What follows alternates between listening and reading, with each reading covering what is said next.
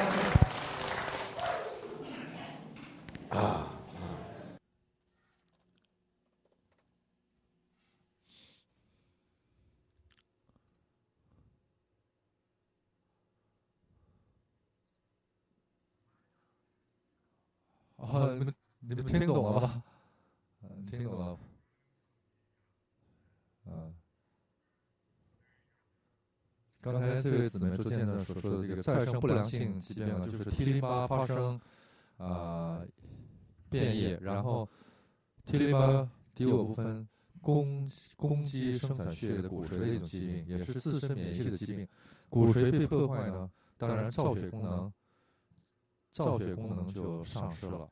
所以不能红红血球啊、白血球不能再生出来，产生啊贫血症啊，是非常严重的病。严重的话，最后就变成白血病，是吧？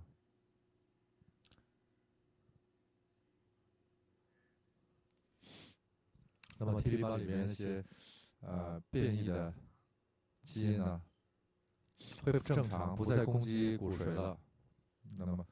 那么上帝让这个干细胞重新在骨髓里生长，然后骨细胞呢就生长上，骨骨髓细胞就增生了出来，是吧？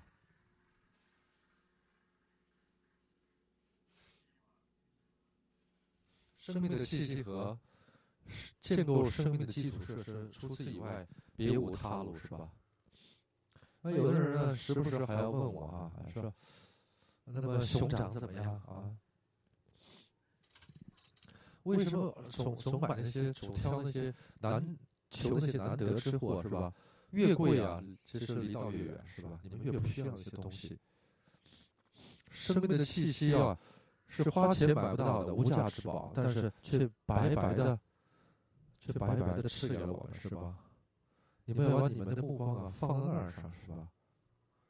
那么砸一针几十万，像一针见见效那些东西啊。其实是没有的，嗯，真正需要的东西是花钱买不到的，呃，生命的气息和呃新起点运动是吧？生活原则。那么我就是道路，我就是生命，啊，我就是真理。耶稣是这样讲的，是吧？那么这个真善美啊，上帝的真善美啊，上帝的真理，呃，上帝的美善和上帝的呃呃。美善呢，体现在大自然当中，体现在一朵花里，是吧？啊，我们的上帝是一件是非常伟大的上帝。嗯，好了。那么你们想想啊，嗯，那么上帝好像好像是在复仇，是吧？对那些恶人呢，啊，惩罚他们，啊，你们。错以为上帝是这样的上帝，但是其实呢，昨天呃，像你们学的那样，圣经里背的上帝呢，不是所说的复仇啊，也是什么？从我们的角度呢是不同的，截然不同的两个概念啊，两个层次的概念。昨天你们已经领悟了。那么，上帝惩罚我们的意义呢，也是不同的。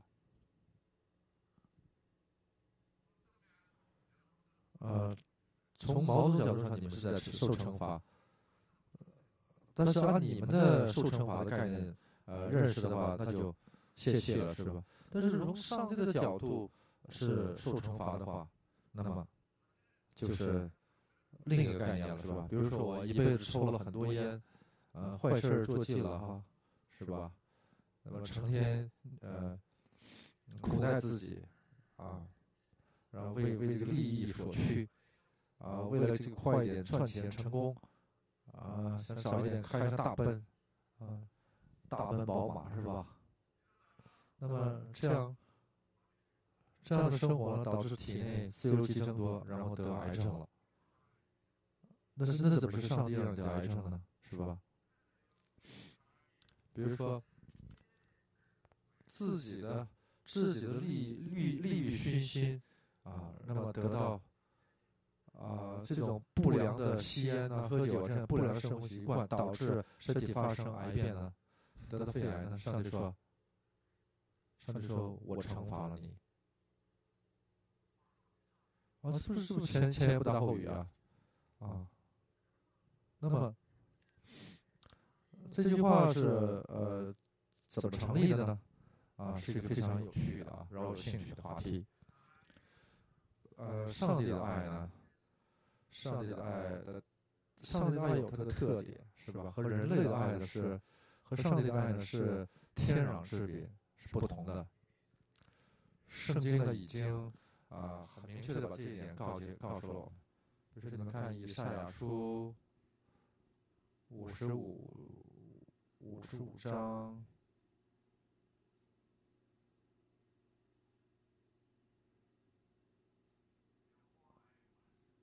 五十五章八节哈，耶和华说：“我的意念非同你们的意念。”啊，你们所说的复仇和我我所说的复仇是截然不同的。嗯，那么你们所说的那个所谓的爱，和上帝所说的爱和我所说的爱是截然不同的。你们所说的惩罚和我所说的惩罚也是呃两个概念。嗯，有多不同呢？那么天。怎样高过地，照样我的道路高过你们的道路，是吧？我的意念高过你们的意念，天壤之别，是吧？所以真善美的至高境界就是谁的意念？就是上帝的上帝的意念啊！这是最至高无上的意念，就是上帝的意念，是吧？所以你们。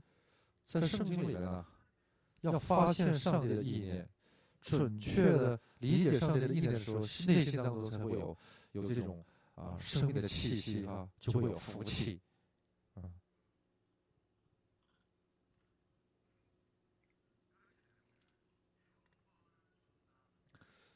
所以我们受惩罚啊，我们这些不好的、不良的嗜好，抽烟啊、喝酒啊。呃，吃油脂的食物啊，不做运动啊，呃，不喝水，成天喝可乐呀，啊，这些生命结构、生命的基基础设施还有生命的气息呢，完全不顾，其结果呢，当然就会呃导致什么？导致肺癌，是吧？那么肺癌这个惩罚是谁给谁的？是我自己给的自己，是吧？那圣经却说什么？那么圣经说，啊，我给你，我让你得肺癌，让你得受惩罚，那到底这个应该怎么理解？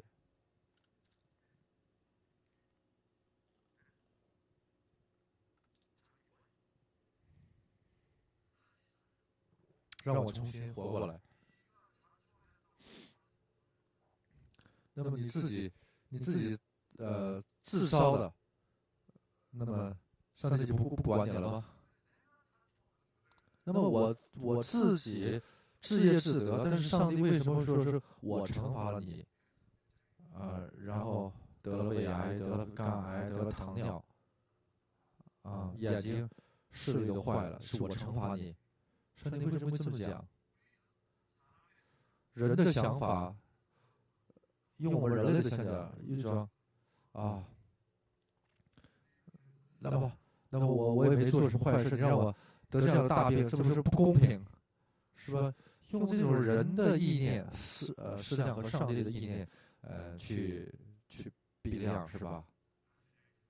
呃，那么再我再讲一遍，呃，我的病呢是我自烧的，是自己惩罚自己的结果是吧？那么尽管这样，上帝却说什么？上帝却说是他是上帝惩罚了啊我。这种表现，那么圣经当中这种表现呢，到底它的真意何在？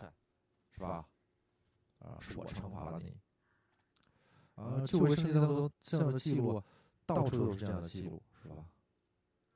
那么，那么我们如果不懂得上帝的意意志，不懂得上帝的爱是怎样的爱，不懂得上帝的呃品品德，那么我们用我们的想法去臆测的话。那么就会产生误解，产生曲解，上帝就变成什么？非常可怖的，是吧？啊，非常啊害怕的上帝。那么我们自己给自己的惩罚，为什么上帝说是自己给了我们惩罚呢？如果你们真的明白这里的奥妙的话，那么你们就会变得非常喜悦。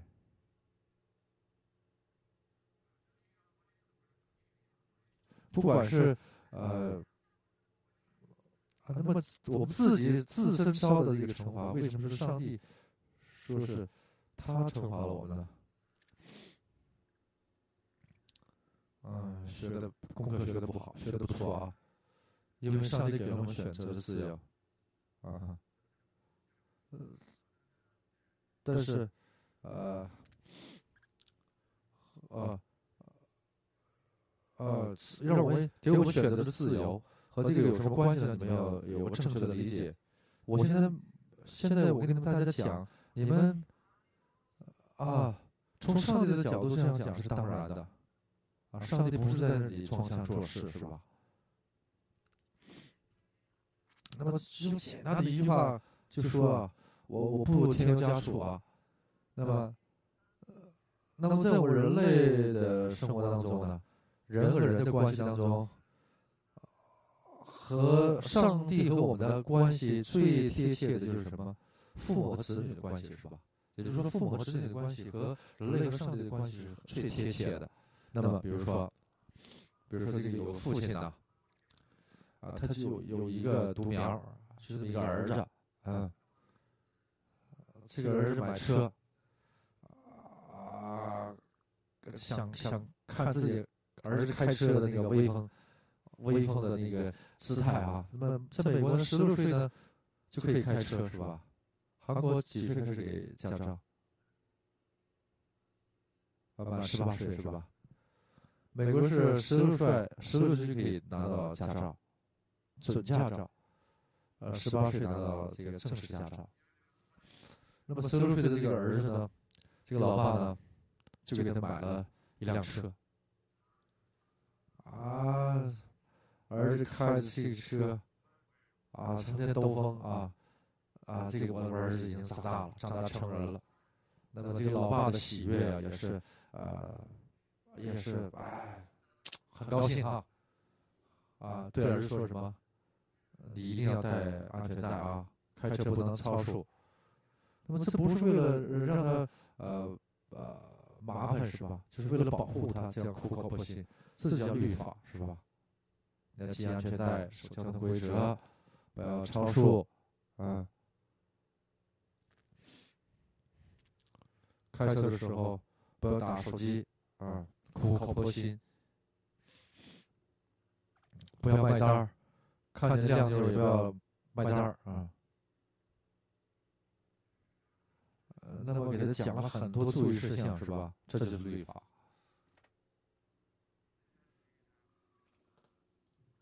这家伙有一天呢，也不带，也不带，也不系安全带，嗯，超速，然后咣撞上了，啊，比如说断了一条腿，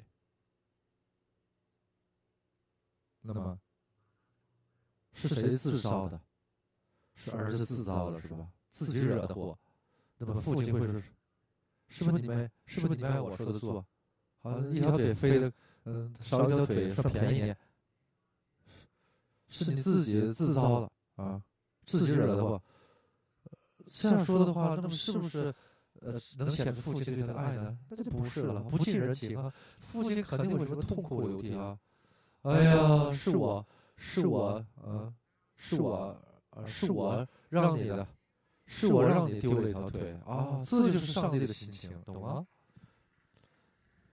就是人情通天理啊！嗯，这就是这就是爱的表现，爱的语言。实际啊，丢一条腿啊是自自造的。但这个父亲呢，就说是我让你丢了一条腿，啊，那么，那么这个儿子这条腿啊，那么父亲负不负责？要负责到底，这就是，这就是上帝对我们的爱，懂吗？嗯，上帝对我们的爱，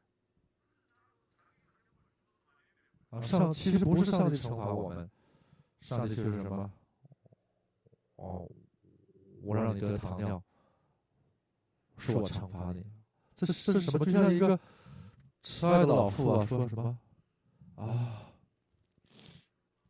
啊！你不建构生命的基础设施，远离生命的气息，每天的生活啊！当你这样选择的时候，这个选择的自由是谁给的？是上帝给的，是吧？是我是我给了你这个选择的自由，那么。你得，你得，你得都是我让你得的，是吧？都是我的责任啊，嗯，是我让你得的，是我让你得的，是吧？这是上帝是说，真的就是就像这个父亲的心里一样啊，啊，就像复仇是呃赎罪救赎一样的，那么惩罚呢也是这样的意思。那么我要负责到底，是吧？呃，让你康复的一种这种这种表现是吧？啊，知道吧？所以啊，你们学圣经要这样学，懂吗？啊，比如说这个是你们在外边学的这些啊，圣经上，上帝都是可怕的上帝，那么上就是歪曲了上帝的形象啊。那么首先你们要牢记，上帝是爱。爱里面没有恐怖，是吧？没有恐惧。那么上帝是爱，哎呀害怕，会这样感觉吗？不会的，是吧？好了，那么是圣经当中却有什么？却有很多阴深可怖的啊事情，是吧？记载着很多事情，所以你们要有正确的理解，正确的理解。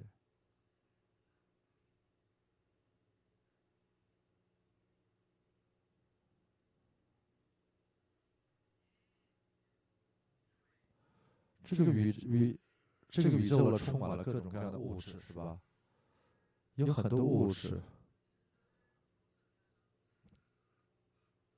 当我们分分析这些物质啊，就会看到粒子，是吧？呃，这个粒子呢，我们称之为什么？啊，我们称之为原子。那么铁呢，是由铁原子构成，是吧？那么碳呢是碳原子的结成，啊，碳原子是吧？碳素原子，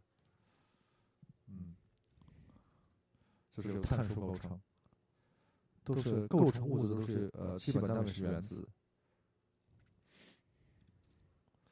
这个原子原子呢，这个原子有个原子核，这个原子核。这个核爆炸的就是让这个原子核爆炸、裂变，是吧？在裂变的过程当中，它会释放巨大的能量。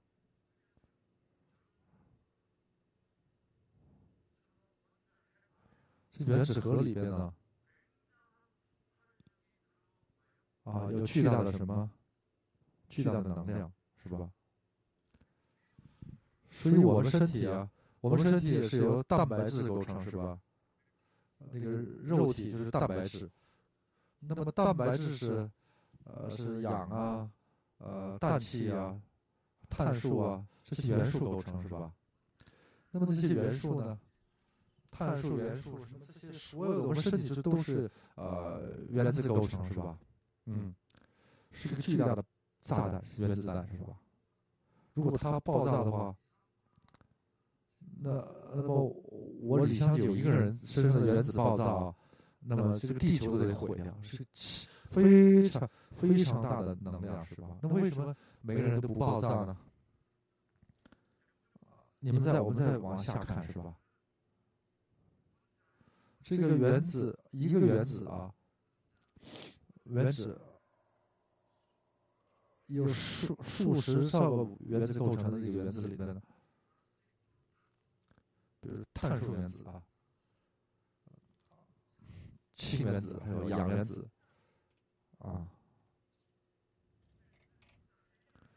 这个原原中间是这个核，这个有个像云云像云彩一样的东西是什么呢？就是围绕在围绕原子核不断的运动的电子核。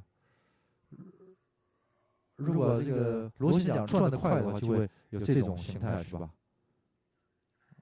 所以这个原子核围绕原子核的电子在不停的运转，是吧？简单的物质有两个啊原子电子，有的人有一百个以上的电子在不停的运转，是吧？运转速度非常快。所有的物质的最基本单位，也就是说，原子呢由原子核和围绕原子核不停运动的回电子构成，是吧？这就是构成物质的最基本的结构。不管是人类，反正这个宇宙当中所有的东西，啊，比如说这个书桌啊，这个呃塑料啊，什么这个杯子啊，头发呀，都是由这种原子构成，是吧？啊，结束了。啊，那么，那么你们看原子核呢？哦，原子核是长成这个样，是吧？有有两种这个原子构成，嗯，这黄黄黄黄色的不带电荷的中中性子。中子是吧？中子，那么这个成取成这个成射的是量子是吧？它具有正电啊。那么啊，大家以大家以为呃这种结构是就这么很自然的，但是从原则上讲，这种结构是不可能存在的，是吧？为什么？为什么？那么阳性电子两呃正电之间呢，不可能这样靠在一起，是吧？我了不起啊，了不起！嗯，您专业什么？啊，这是常识是吧？哦，常识不得了啊！啊。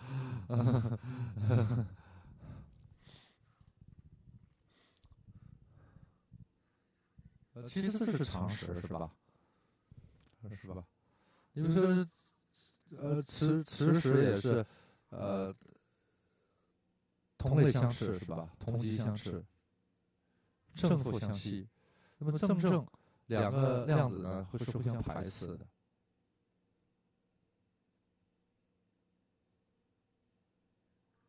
这是正电，这是正电，这是正电，这是正电，正电。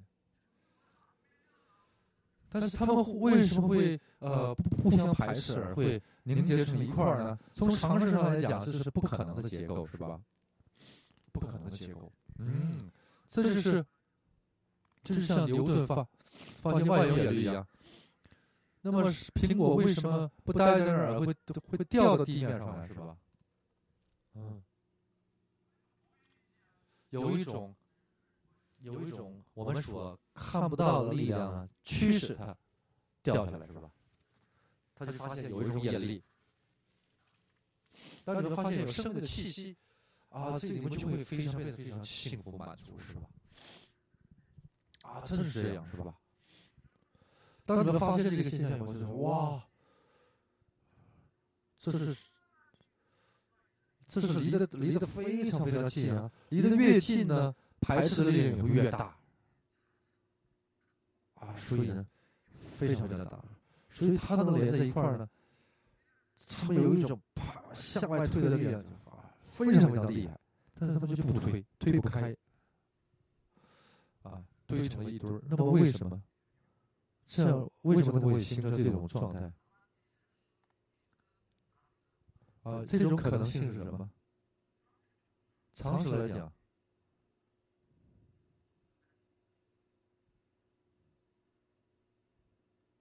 啊，那么这些啊不爆炸的有一个有一个更大的力量是怎么样？在凝聚着他们，是他们凝聚的一个力量，是吧？啊，这个结构才能啊维持住，是吧？啊。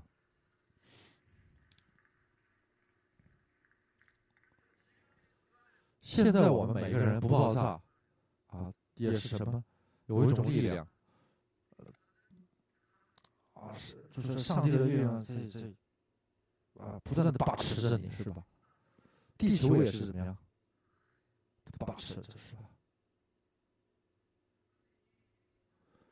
这个力量慢慢慢慢慢慢削弱的话，结构就会不安了。这些啊，这些不安的结构呢，就要相互。排斥了是吧？是吧？所以地球啊，上帝用他的大能的手呢，在维持他。如果这个力量削弱的话，地球就开始发抖了。所以什么越来越多？地球这个地震越来越多是吧？啊，为什么？因为人类呢，这个地上的人类越来越啊，那么对上对上帝呢，呃，无动于衷。越来越恶，是吧？他们排斥真善美，是吧？那么，那么离开真善美啊，心里呃心怀恶念，那么维持你们，因为你们排斥这个力量，所以这个维持你们的力量就越来越小，这种均衡就要被打乱，力量的均衡就要被打乱。所以有一个看不见的力量啊，正在维系着这个结构，上帝的力量。你们能看见万有引力吗？但看不见它的存在，是吧？那么这种力量呢，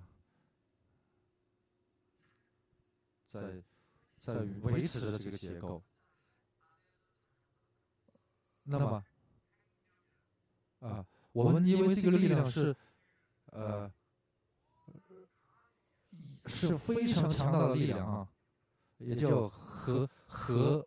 核凝聚力啊，我们把它称之为啊，我们称之为 nuclear strong force，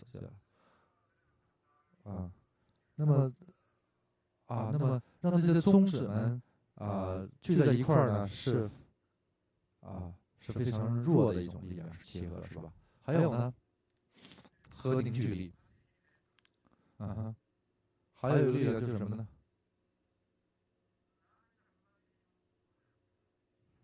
还有一个力量是什么力量呢？这个电子在不也是粒子是吧？这个电子不停的在运动啊，在快速的运转，但它不飞逸出去是吧？转速转速这么快的话，应该这个向心力啊就可以甩出去，啊，离心力可以甩出去是吧？那么离心力呢？就会使这些电子呢被被甩出去哈啊，这又一位有常识的人了。哦，发现的确女性厉害，女女性越来越厉害。嗯，男性现在越来越阴盛阳衰了，是吧？嗯。啊，您夫人哪去了？啊。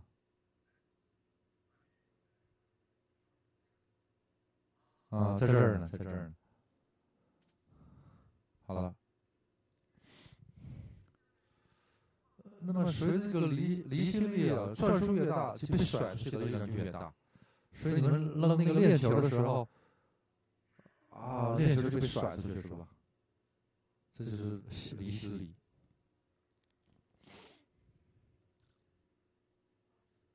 没收了啊！对方在想，没收了啊！那么，嗯。但是这些电子呢，没有一个被甩出去，是吧？为什么？有一种，有一种使电子不被甩出去的力量在吸附着它，叫电磁力，是吧？我们所说的这个啊电呢，就是利用这种原理啊，然后把它用电线凝聚在电线里，然后传出去。这是第三个力量，是吧？宇宙当中第三个力量，还有一个就是重力，是吧？我们所说的引力。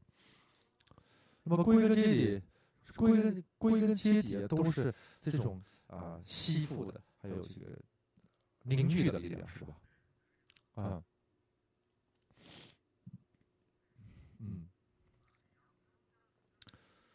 这个量子和呃中子呢，啊里面有什么？有夸克，就是迄今为止人类所发现的最小的单位，是吧？夸克。这个夸克呢？啊，这个阳，这个量子里面呢有夸克，夸克之间呢形成什么？啊，是相互吸引的结构，彼此之间有一种相互吸引的力量。这也是核融合力当中的一个。是为了为了维持我们这个人类，维持一个物质的存在呢，有这种看不见的力量啊，巨大的力量在使然，是吧？所以这个量子的一个量一个量子里面呢，也需要什么？嗯，啊，这个这个世界上所有的能量加一起也无法维持这一个呃量子的啊凝聚，是吧？所以，那么创造宇宙、维持宇宙的力量是有多么的大，是吧？那么你们在这听讲啊，其实呢，那么上帝现在给你们生命的气息，然后。真是在维持着你们，啊，看不见的一只大能手在维持着你们。但我们心内心当中却有这种仇恨的念头，那么这个力量就慢慢慢慢的弱了，是吧？那最后呢？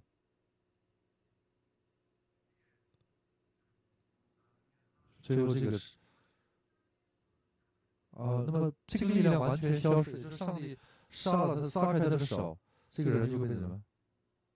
啊，就会爆炸，最后只剩什么？只剩夸克，知道吗？这个世界啊，是从夸克开始的，所以上帝用尘土造人，这尘土就是什么？就是夸克，是吧？所以世间的所有的一切啊，啊，我们李先生也是夸克，你也是夸克，啊，我也是夸克。所有的人都是什么？夸夸夸夸夸夸夸，都是夸夸夸。那么夸克它的排列组合是怎么样？是就是人，怎么排列组合就是猫狗是吧？最根本的不同就是什么？啊，从根本的物质的角度看是没什么两样，是吧？所以呢？这核凝聚力啊，电磁力啊，重力啊，这种力量一块儿啊使然啊，然后维持着一个物质的存在。科学家们已经证实了这个物质力量的存在，但是这种巨大的力量来自哪儿？啊，科学家说没有，他们说这个力量没有。啊，从人类的思维来看，这个力量是不呃没有根源的存在。所以霍金博士说，这个巨大的力量。维系万物的这巨大的力量，是人类谁也用人类的手哦无法无法创造出来这个力量。力量来自哪儿？霍金博士说来自上帝。霍金不是信上帝的人是吧？但是他说，他说这种能量的最源源根源，能源的根源，就是就是。发电这个能量的发电啊，发电所在哪儿？是在哪儿？他说是在是在神那里。就是说这种力量的源泉，我只能称作为上帝，是吧？那么你们看，不管你们信不信上帝啊啊，不管你们信不信上帝，上帝的力量啊，在维系着每一个存在，是吧？好了。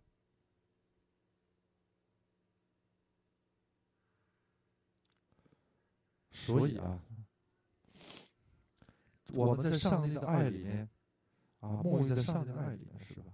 孙悟空跟着翻得再远，还是在如来的手心一样。啊，这种力量是物理的力量。我们所说的这个呃生命的气息，就是福气呢，是什么什么层次的？从物理的角度来看，啊，这是物理的力量，是吧？啊，靠这个力量呢，啊，不能救活一个人，啊，改变不了一个基因，是吧？慢慢慢慢，啊，上升到爱的爱的层次的力量，爱的力量，是吧？力量的种类很多，再啊，再有力量，是吧？用这个力量变化不了一个人的秉性，改变不了一个人的心，是吧？好了，啊，啊，这个宇宙就是这样，是吧？那么，如果把所有的力量一撒手的话，那么所有的东西就维持不住了，啊，只剩下什么？最基本的物质，就还原到最基本的物质。爆发的时候，去释放巨大的什么？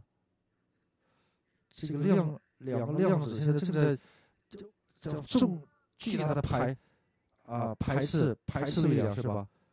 那么这种力量一旦上帝撒开手的话，这种力量就会爆发出来是吧？啊，中子弹、中子弹、量子弹是吧？啊，这种就会爆发出巨大的能量，啊啊就会产生火是吧？圣经里呢记载这样的场面：上帝完全被拒绝的时候，完全被拒绝的时候，啊，这个爆发的一个场面，这样的事件，这个事件是什么事件？啊，就是索多玛和俄摩拉的事件，是吧？过去索多玛和俄摩拉呢是一个非常繁华的。古代城市，这里的人呢，这里的人呢，被撒旦呃蒙蔽，是吧？利欲熏心。那么撒旦这个存在为什么会成撒旦呢？他曲解了上帝的爱，是吧？曲解了上帝的秉性。啊，上帝的爱是无条件的爱，是吧？再加上啊，包容一切，而且对一切负责任。为什么？因为他赋予万物选择的自由，赋予人类选择的自由是无条件的爱，再加上啊选择的自由，那么当然负责啊当然由他来呃担当是吧？责任当然当然由上帝担当。所以什么十字架？啊，你们你们所犯的所有的过犯呢？啊，由我来负责，由我我已经为你们负责了。啊，那么你们呢？把你们的所有的罪过呢，我都哦，我都要替你们偿还。这样的象征就是十字架，是吧？所以十字架是真善美的至高至高境界的象征，是吧？至高境界的象征，在这个世界上没有比十字架再深刻啊啊！再能彰显出真善美的呃最高境界的东西了。所以，当你们仔细的想十字架，领悟十字架，不是在胸口画两下就是十字架。为什么耶稣的儿子要钉在十字架上？为什么死在十字架上？啊，这不是什么在开玩笑啊，可以轻描淡写就过去的事情。从上帝的角度来说，是非常深刻的事情啊啊。他希望每一个人都能懂得其中的奥秘，但是他不是强制的，他不会强迫我们。啊，上帝让我这样这个软弱的人呢，苦口婆心的替为你们啊讲解，是吧？所以当你们啊，原来是这样，哇，他明白这个道理的真理的时候，那么过去所有的阻隔呢，就就被一扫而光，然后圣的气息就会进入到你们里面，基因就会得到恢复。啊，那么病恢复啊，就是这么个理儿啊。归根结底呢，就是就是让万物存在的这种所有的这种力量啊，夸克、中子量子啊，所有的都是这样形成的物质，是吧？用这种力量使然的。那么，当你们明白了这种所有的结构以后呢，就知道所有结构的能够成为结构，就是这种力量的使然，这种看不见的力量使然啊。那么，索托马罗拉这个城市呢，啊，堕落到了极点啊。傻蛋为什么成为傻蛋呢？傻蛋呢？呃，是是是上帝所造的天使，天使是比人类呢稍高高一个境界的存在，是我们眼睛看不到，但是存在。啊，我们把这个天使，圣经把天天使这个存在称为灵，属灵的存在，天使就是。上帝的使者是吧？天赋的使者。那么，广播电台的使者呢是电波是吧？就像电波一样，嗯，像电波一样，在劝鼓着我们。啊啊，有给我们念头的生命的念头的天使，有给我们死亡的念头的啊天使是吧？圣经就是这样非常的具体啊。那么孔子啊，释迦牟尼啊，也很伟大啊。但是这样具体的把我们，我们是人类的东西，能够，能够具体的描述出来，只有创造宇宙万物的上帝才能记录下来，是吧？所以太具体了，所以就觉得有点有点荒唐，是吧？这就是圣基督教说说，呃说。是有的矛盾是吧？就是越具体的东西，就是越详实的东西。那么天使当中有个天使长叫路西佛，这个路西佛堕落成天使。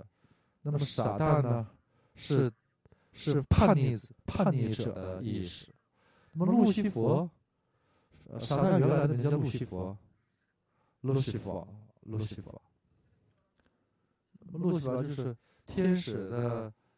长天使长，就是从上帝那里拿呃拿过真善美的呃光呢，要传递给人类的一个使者，啊，是一个站在最荣耀的与上帝最接近的天使长。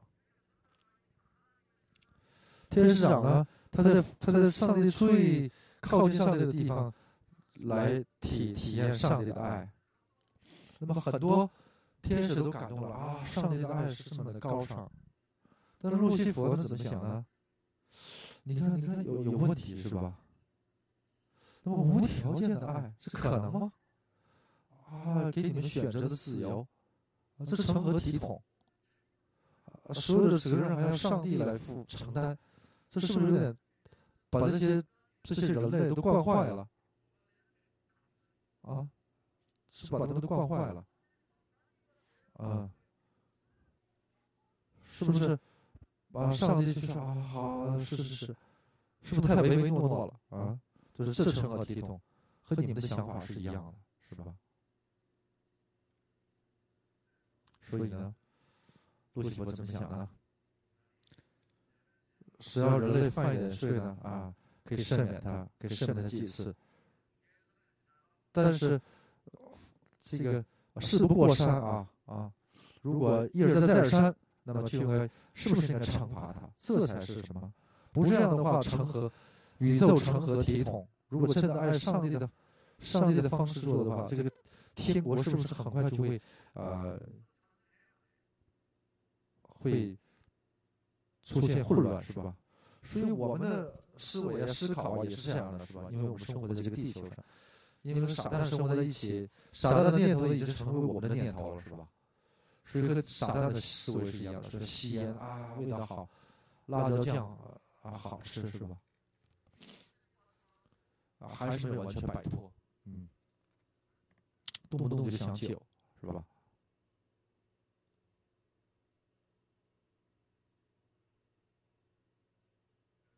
所以啊。所以撒旦呢，就对上帝说建议说，是不是应该画条画画条界限是吧？上帝说不是，你的念头、念想和我的念想是是天壤之别。呃，别的天使也也跟路西弗是同一个想法，但是上帝说，啊，天壤之别，你的念头、我的想法是天壤之别。那么别的天使说，啊，我们想还是上帝对。那么总有一天我们会明白上帝的爱是怎么回事儿，但路西弗却没有这样，是吧？就是总觉得上帝的这种爱行不通啊，会引起大乱，所以他呢，他就开始说服一些天使。然后拐拐骗三分之一的天使成为他的呃追随者，开始开始跟上帝作对，是吧？那么呃，上帝说啊，大事不好，但是大上帝已经预见到了这种反叛会出现，是吧？因为这些天使也有选择的自由，是吧？用什么样的用什么样的方式思维？这是他们选择的自由，啊，于是上帝呢，啊，就不不立刻处决他们，啊，啊，那么原来这个没有地球，那么地球以后呢，啊，就让这个路西弗和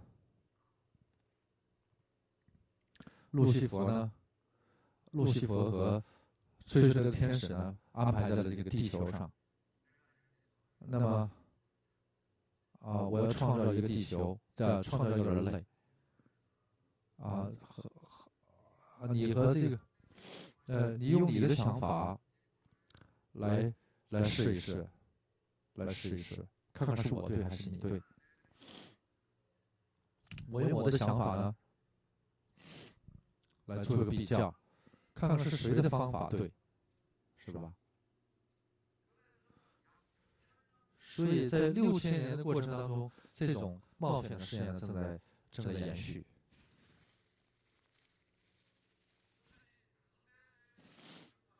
所以路西弗的结果呢，是只是只是结果就是灭亡，是吧？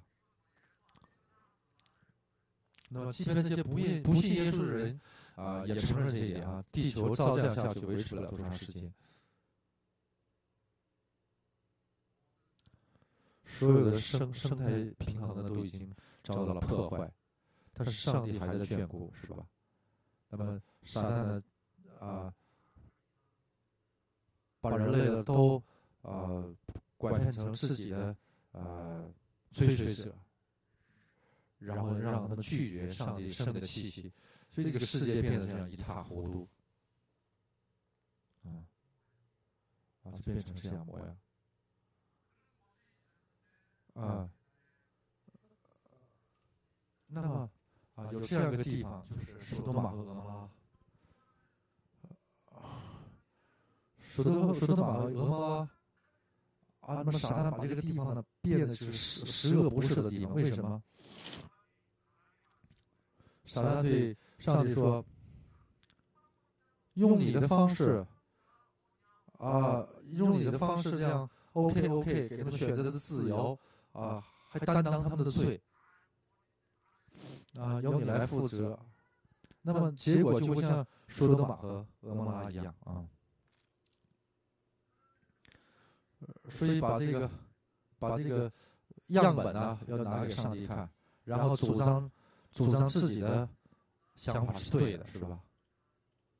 啊，向上帝，所以把这个说多玛、俄摩拉呢，就完全。变成了恶贯满盈的地方，然后来说，这样你看人类这样，你还要爱他吗？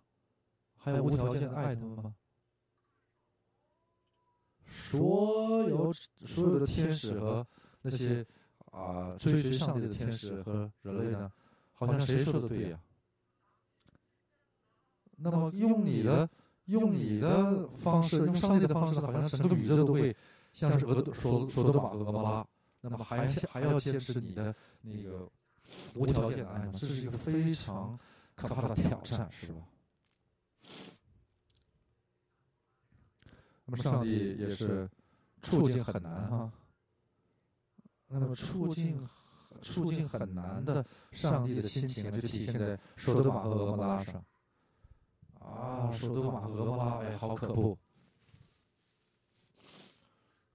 索多玛和俄摩拉呢，已经已经在这个十恶不赦的状态下，已经完全拒绝了生的气息。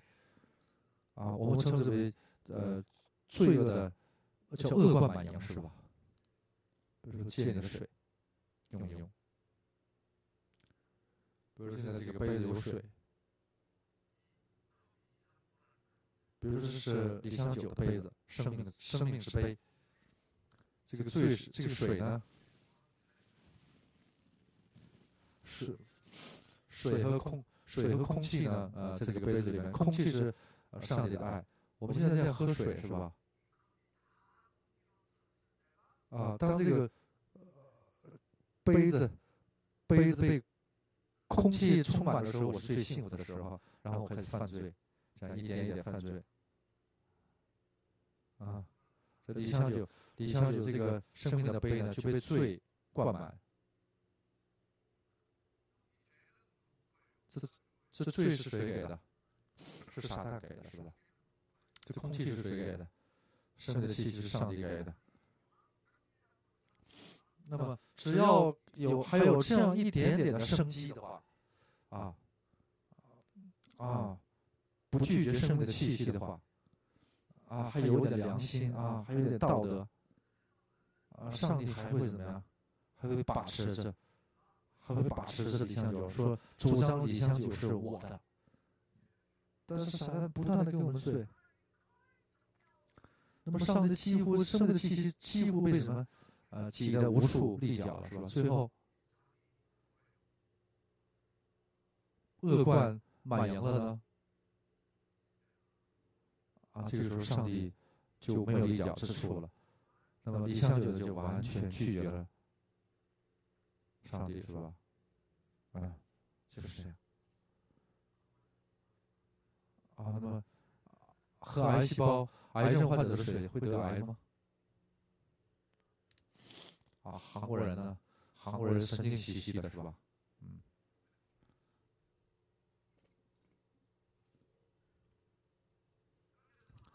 那么事到这个地地步，上帝应该怎么办？你拒绝了我，啊，即便给了我们上选择的自由，上帝就得怎么样？就得退退退一步，是吧？所以呢，上帝呢，从首首都马、俄摩拉呢，啊，已经到了。不得不退一步的处境，所以你们看圣经，《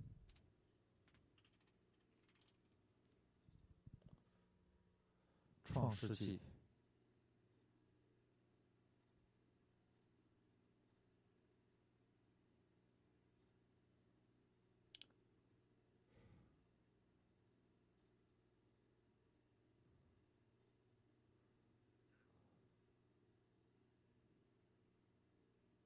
十八章，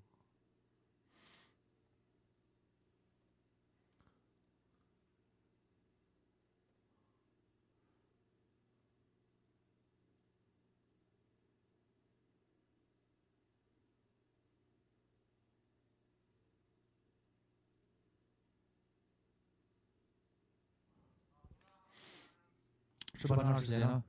说亚伯拉罕呢？啊。有上帝的天使一行呢，来访问他们亚伯拉罕的家。为什么访问他们的家呢？因为在亚伯拉罕的家里住一晚上，呃，他们正要赶赴俄多呃首都马和俄摩拉。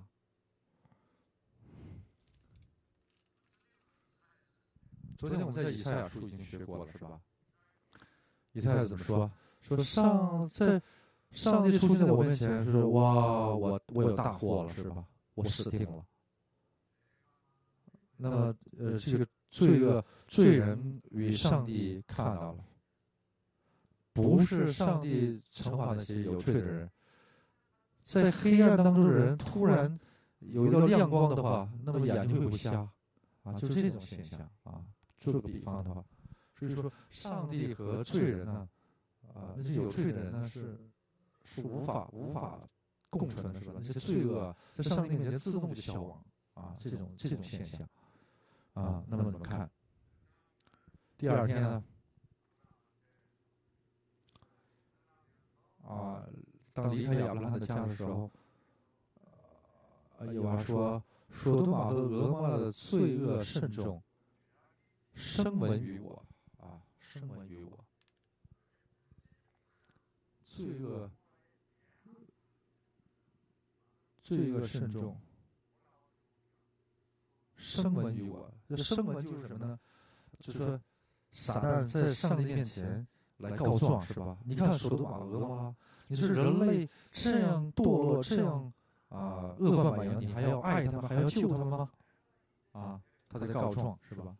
我现在要下去查看他们所行的，果然尽像那达到我耳中的声音一样吗？若是不然，我也必必我也必知道。也就是说什么？啊，这不像上帝是吧？从哪个角度来看？而上帝是全知全能的，那么他已经知道了，他得亲自下去得怎么样？用我的眼睛确认啊，才知道。所以圣经，圣经批评圣经的那些学者们说什么？说上帝不是什么？你看看，你看上上圣经啊，就是不成体统。那么全知全能的上帝啊，都是蒙人的话，是吧？嗯。那么上帝得还得亲自亲临现场啊，啊，那我我第一次看圣经的时候就觉得，哎，好蹊跷，为什么上帝要全知全能的上帝不去现场也应该了解是吧？呃，全都知道，了如指掌，但是为什么要亲临现场？啊，你们想，啊，这是非常重要的信息是吧？比如说。就像刚才我举的那个例子，那个儿子自己惹祸丢了一条腿，但是父亲会怎么说？是我让你丢了一条腿，啊，是我惩罚了你，啊，这同样同样呃脉络上可以理解的，呃，上帝的苦衷是吧？上帝都知道，而索多玛、俄摩拉恶贯满盈，上帝应该知道是吧？如果是全能上帝的话，但是我还要亲亲临现场，意味着什么？说明上帝仍然爱索多玛和俄摩拉，即便他知道，啊，但他还是觉得还是不想知道，是吧？不希望这是现实。嗯，比如说过去啊，我女儿啊，嗯，发生了车祸，说是这个从急诊大学急诊室突然来了个电话。我是神神经外科，呃，助教谁谁谁？你女儿现在因车祸呢，被送，呃，颈椎以下已经全全身麻痹了，全身瘫痪。我听到这个消息如雷轰顶，是吧？那么全身瘫痪，呃，诊诊断这个全身瘫痪呢？呃，是非常容易的，是吧？不动动不了的就是麻，全身麻痹了，全身瘫痪呗。这样的诊断呢，几乎没有发生啊失误的可能，非常简单。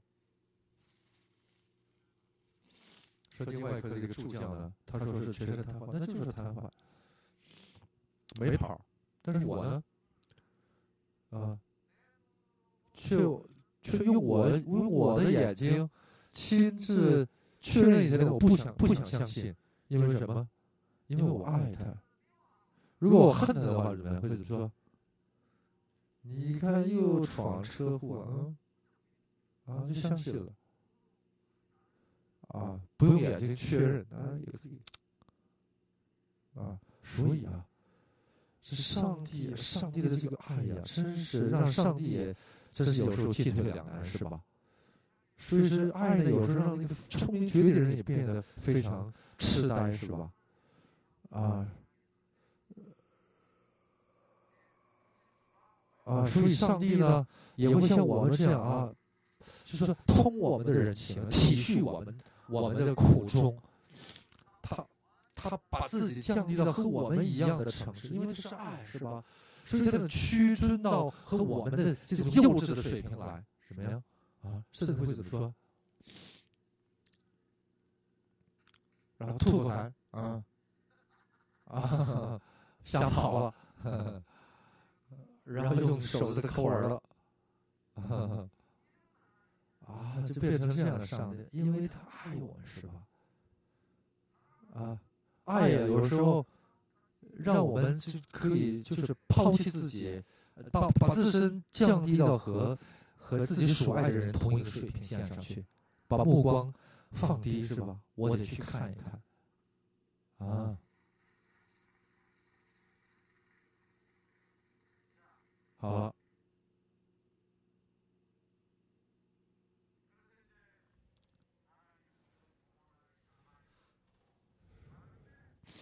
所以说亚伯拉罕呢，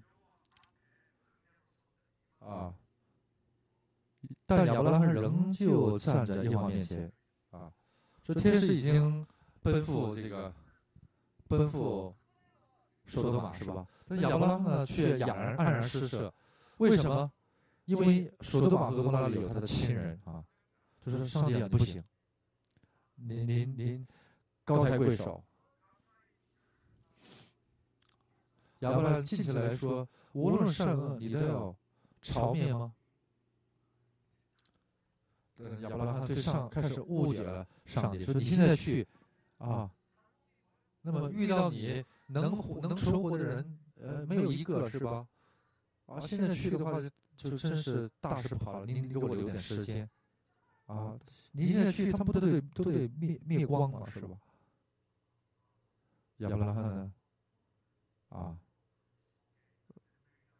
他想拯救说俄多玛，呃，俄摩拉和索多玛的几个人，他是有义气的人，是吧？所以呢，假如那城里有五十个艺人，你还狡辩的地方吗？不为城里这五十个艺人饶恕其中的人吗？那么什么意思？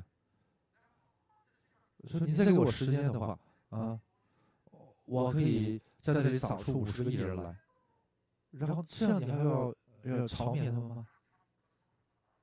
啊，朝灭他们吗？嗯。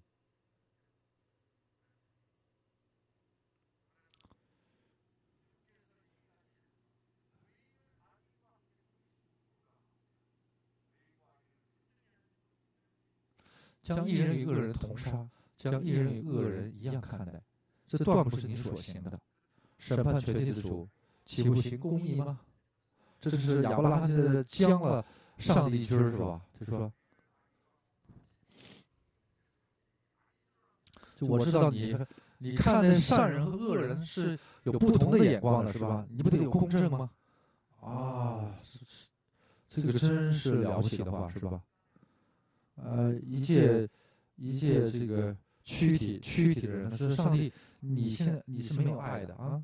现在去整个城里没有一个人能存活在你的面前，啊，啊，显得很公义是吧？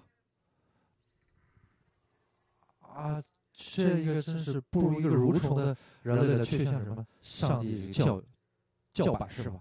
说你错了。那么，即便是这样的挑战，上帝也会默默的对对应是吧？默默的承受。嗯。然后耶稣呃，耶和华说：“我若在索多玛城里有五十个艺人，就是基本有十个亿人，我也会怎么样？我也要饶恕他们所有的错。要是能抢到五十人，那该多好！有这个五十个人的话，我就我就不能惩罚他们啊！就是你们给了我一个借口，是吧？啊，所以呢？”只要这个生命的杯里还有一点点呃善念啊，一点点生机的话，那么啊，我就不不不不会离开你们，是吧？离开的话就是死定了。所以亚伯拉罕说：“亚伯拉罕说，我是我虽然是灰尘，还管对主说，啊稍微变得谦虚一点了，是吧？假如说短了五个，也就是只有四十五个人，那你也会灭掉整个城吗？就说，要不然说你在那里能真有四十五个艺人的话，我是不会灭的。那么上帝是不是存心要灭呢？只要有一个，只要有一个借口，哪怕一个这么大点的借口，是吧？只要有几个艺人，啊，里面有的话，这就是一片生机，是吧？啊。我就我就会啊，不会撒手离开啊啊，因为里边有呃渴求我的人。这个地球啊，这么乐观满盈，但是还能维系的原因是什么？就是这里面还有什么？还有追求真理啊，渴望上帝的人啊，掌声。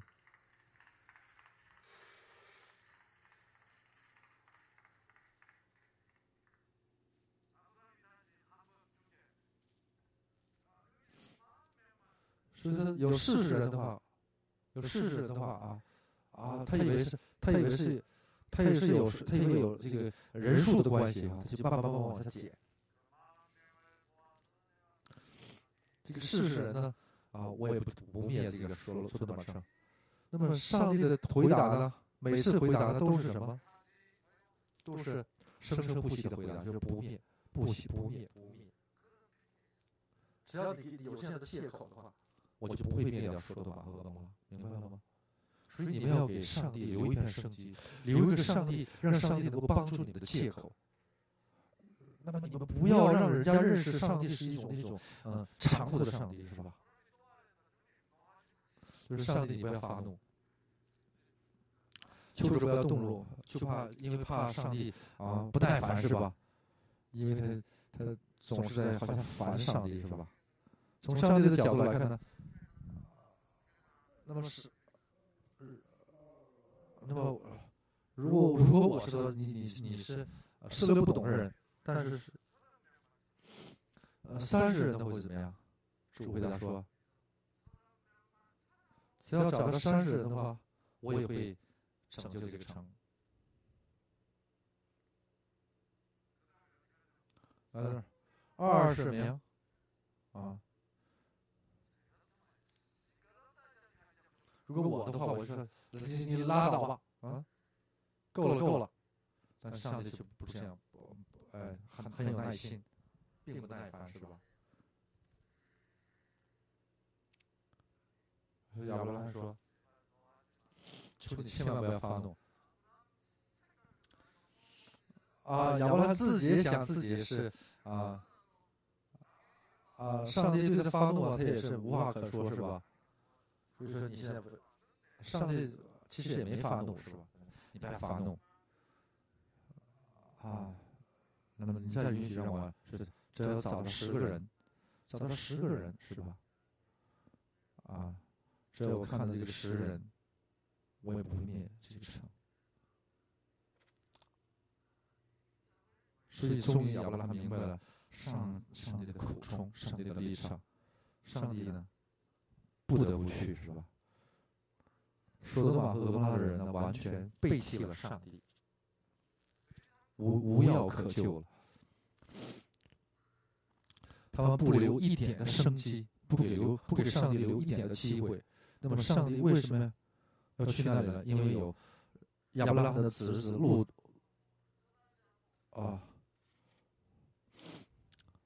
侄子啊，生活在那里，所以上帝去拣选。去拯救他们，所以说的嘛，俄摩拉呢，当时这个同性恋很猖獗，是吧？啊，同性恋为什么会猖獗呢？性就是什么呢？是教会与我们的关系啊，耶稣的关系啊，耶稣的关系是吧？天人合一的关系是吧？啊，这才是男女之间性的本质，但是却把呃同性之间同性之间相恋呢，就是傻蛋啊在捉弄我们，是把这种啊至高至美的境界的这种性爱呢啊变成这种最肮脏的东西了，所以这个世界呢，一旦罪恶满盈呢，同性恋就就猖獗。所以首都首都马俄摩拉呢是一个同性恋猖獗的城市。那么上上帝的仆人，所以说啊，第一次看见就是什么，就要就要搞同性恋。所以上帝的仆人天使呢就啊就惊慌失措的离开首都马俄罗拉，是吧？所以呢，上帝呢完全的完全的啊亲自来确认以后呢，即便上帝亲自去也被拒绝了，也遭到拒绝。这样上帝呢，上帝的眼睛里就会留下啊。惋惜的泪水，这帮家伙们就会变成夸克，这个城里所有人就会变成夸克，因为他们摆脱了上帝最后给他们的一次机会，不留上帝一点生机，是吧？而上帝流泪离开说多玛和蛾摩拉，那么突然就发生这种暴力，而说多玛和蛾摩拉呢，顷刻之间就变成了一片废墟。在上帝的哀哀痛的心心情下，是吧？说结果呢？说多玛和俄摩拉的灭亡呢，也是什么？都是呃，旧有旧有秩序，是吧？所以呢，啊，说多玛和俄摩拉是旧有秩序啊。即便上帝呢，这样苦心的去想要拯救他们，但是最后他们还是拒绝了。上帝不给上帝留一片生机，一点点的生机，是吧？都变成了夸克，除了亚伯兰的侄子一家以外，所以上帝是非常非常心痛心的啊！这是这样的故事啊，明白了吗？当然，你们如果不明白这个道理啊，啊，你们这个罪恶啊！你们如果犯罪的话，上上帝会像像灭灭亡这个索多玛拉一样摧摧毁你们啊！这不是上帝的心情，这只是从道德的角度、人类的、人类的所谓的胜利的角度的呃说教是吧？它里面没有生命，没有爱，所以说，即便是索多玛俄摩拉呢，啊，那么。也，上帝为了拯救他们，苦心经营的这种上帝的爱，你们要了解。而现现实呢，却把上帝曲解为这种非常阴森可怖的上帝，这是你们曲解了上帝。所以我为这个人做了内心非常大的这个斗争。所以呢，我现在开始看到上帝，上帝的啊爱了，是吧？你们仔细看的话，能不能看到呢？能看到。所以这样伟大的上帝的爱。用人类无法思量的宇宙的大爱，上帝的意念，上帝的旨意，他的大爱，啊，对你们来说是福气，是生命的气息。所以这个生命的福气，你们要敞开心门，不断的接受，相信你们一定会被这种福气呢，啊，所医治啊。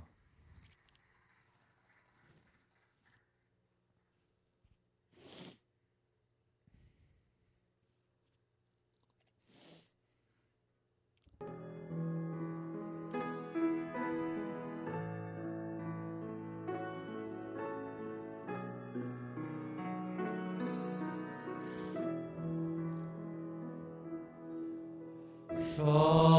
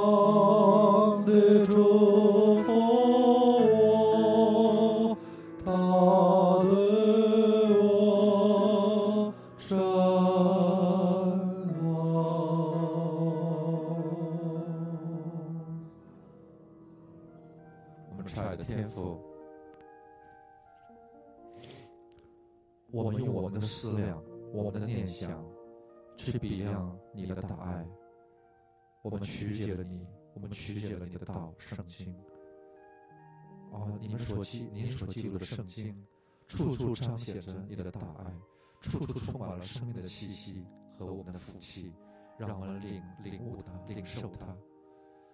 啊，让我们珍惜它，就像啊，这世间比什么样的宝贝都更加珍惜它，依靠它，信赖它，成为我们啊生命至高无上的宝贝。那么，通过生命的气息呢，啊，建构啊生命的基础设施，这才是我们恢复健康、回归你的形象的唯一的道路。求你引领我们走这条道路。在这个世界上，已经无法医治的疾病呢，靠你的大能，靠你创造整个宇宙的大爱，用你的双手来恢复我们。我们这样祈求，奉耶稣名，阿门。